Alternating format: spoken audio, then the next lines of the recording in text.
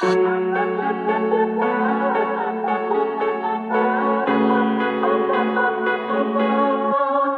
gian sẽ chẳng đợi chờ điều gì cho đến khi ta nhận ra. Tình yêu giống một trò đùa dài khờ hay anh quá ngây thơ.